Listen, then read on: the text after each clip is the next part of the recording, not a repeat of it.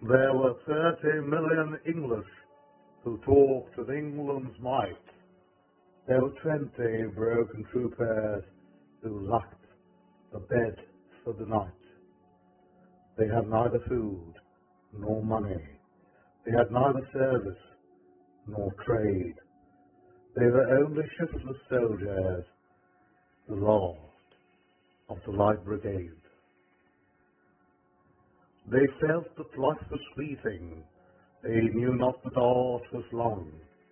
That though they were dying of famine, they lived in deathless fun. They asked for a little money to keep the wolf from the door, and the thirty million English sent twenty pounds and four. They laid their heads together, that was calm, and lined, and grey.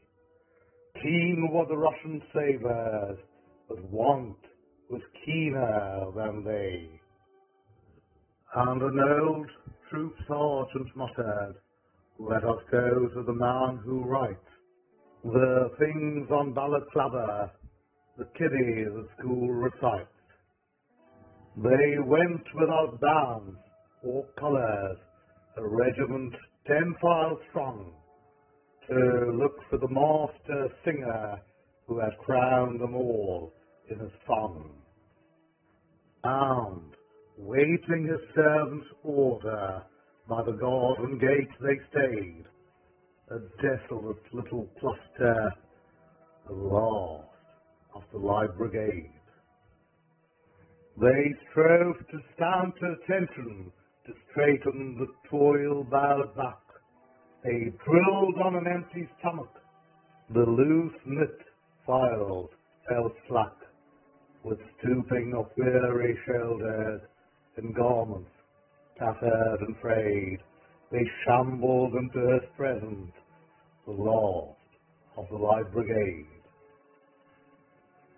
The old troop sergeant was spokesman, and begging your pardon, he said, You wrote of the Light Brigade, sir. Here's all that isn't dead. And it's all come true what you wrote, sir, regarding the mouth of hell. For we are all of us nigh to the workhouse, and we thought we'd call and tell. No, thank you, we don't want food, sir, but couldn't you take and write sort of to be continued and see next page oversight? We think that someone has blundered, and couldn't you tell them how? You wrote we were heroes once, sir.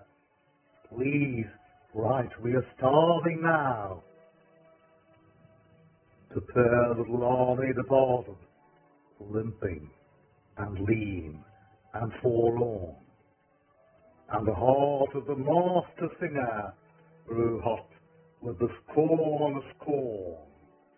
And he wrote for them wonderful verses that swept the land like flame till the fatted sails of the English were scourged with a thing called shame.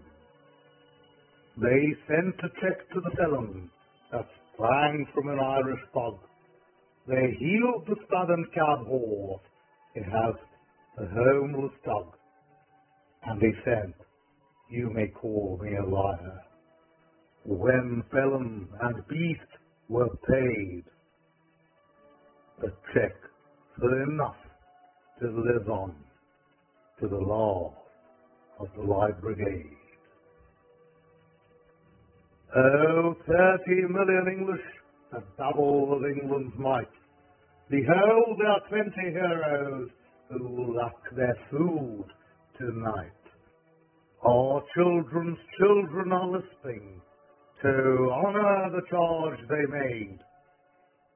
And we leave to the streets and the workhouse the charge of the Light Brigade.